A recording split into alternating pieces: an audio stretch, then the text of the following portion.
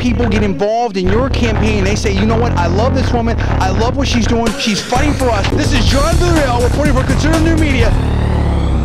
Yeah, and, and Sarah Palin talked about that, and we'll talk about that. But I'll do you one better, Dave. What's even worse, and Mike, Captain Mike can back me up on this, there were literally almost, I'd say, a half dozen to a dozen cameras there and mainstream media people there. I saw ABC Seven out there. I think that um, um, one of the one of the uh, NBC channels were out there. They were all covered. I mean, this see, unlike unlike what the left does, they don't, you know, there wasn't like one little sign from some straggler who they tried to call a Sarah Palin supporter who had something maybe sort of extreme that they kind of close up to, that would then appear all over the mainstream media. This, you could see these uh, angry, I would say, aggravated and extreme uh, anti-Palin uh, protesters that are all over the place. And you have this guy there, and who's leading the protest, along with his buddy, right in the middle of this, with all these mainstream media cameras around, and yet none of that shows up on any of the news reports whatsoever. We have to come here with conservative new media and show it on and air it on KFIV in Afternoons Live with Dave Diamond. And that's why it's so critical that people support KFIV, they support Dave Diamond, they support Afternoons Live, and they support conservative new media because you'd never hear about it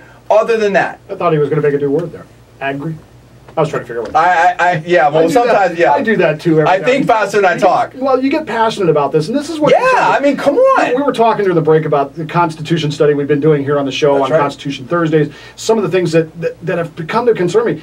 I know what I so- was it uh, Socrates said wisdom is knowing what you don't know or understanding what you don't know. Yeah. As I've gone through the Constitution, the, the single most surprising thing to me since January, the first week in January when we started this study, was how little I actually knew. And we're only three articles into it. We haven't even hit four or the amendments yet, other than I love the. Constitution. Yeah, it's, there's a lot there. It's shocking to me how little at 47 years of age I didn't know after serving in the Navy for 10, 11 years, doing all these things. It's shocking to me how little I knew. It's a great point. And I get yeah. I got this 18 year old kid out there yelling, "Bleep the Constitution." that, that you're fighting for, that people are dying for over in Afghanistan and other places. crazy. It is great. And Sarah Palin talked about that. And she, you know, we'll wait on that. We're going to get to that. Yeah, we're going to get to that. We'll get to that here real soon. We're going to talk about the, the content of her speech, some other reactions to that. We've got a couple more reaction pieces to that. And of course, your input. Were you there? Oh, yeah. What did you think? What have you seen in the media? And what do you think about what you just heard? Yeah, 551 3043 866 770 5556 on the web, KFIV 1360.com. It's half past. Here's Kiowa Sports. All right, welcome back. JDV's here, Mike's here. They went to the speech the other night.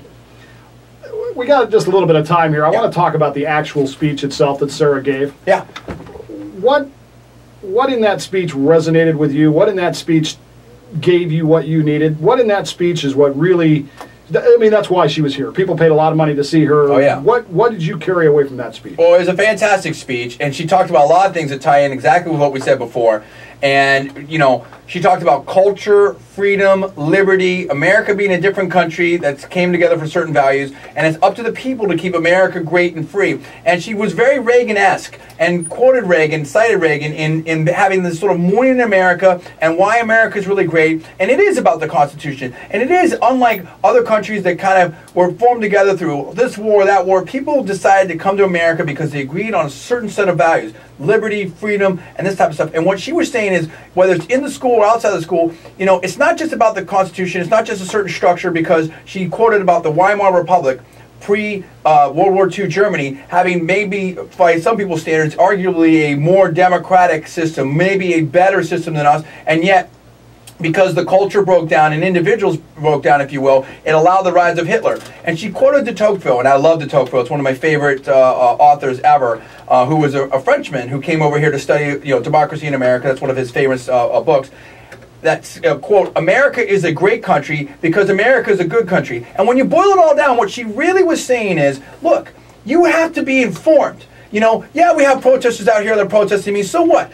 Uh, Reagan handled that with a lot of aplomb and a, and, a, and, a, and, and good cheer and a smile. We need people to know about the Constitution. We need people to hold the the st- uh, teachers accountable, the mainstream media accountable, our politicians accountable. You need to get out there and do what you're doing, Dave, which is read the Constitution. You need to educate yourself and get involved because you know you can't just say, "Hey, America's always going to be an okay country," or "Hey, we have a system that's going to make it okay." No, as we see now with this disastrous Obama administration, you have to be engaged. You have to weaponize yourself and arm yourself with information and be part of the process and have an active and free press, not a, um, a mouthpiece for the White House. That's what makes America great, and we have to continue to fight that battle like you did in the military. Other than that, great speech, good speech.